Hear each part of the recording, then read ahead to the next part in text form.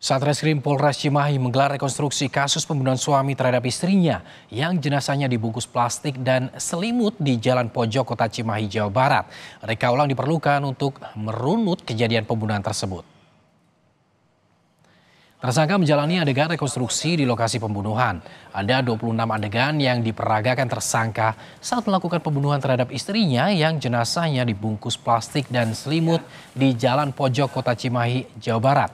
Rekonstruksi dilakukan untuk memastikan runutan kronologi ketika pembunuhan terjadi. Sebelumnya, saudara tersangka membunuh istrinya lalu membungkus jenazah korban dalam plastik. Peristiwa ini baru diketahui setelah adanya laporan dari warga yang mencium bau tak sedap dari dalam kamar.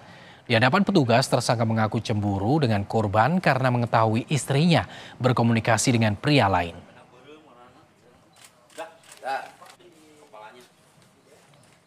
Ada lagi terkait motivasi dari tersangka ini melakukan pembunuhan itu. Apakah ini memang secara spontan, apakah memang dia ada melakukan rencana terlebih dahulu dalam proses melakukan tindak pidana pembunuhan ini. Maka nanti akan kita sangkakan terkait pasalnya apakah sejauh ini uh, penyidik baru mempersangkakan pasal 338 dan 340 bahwa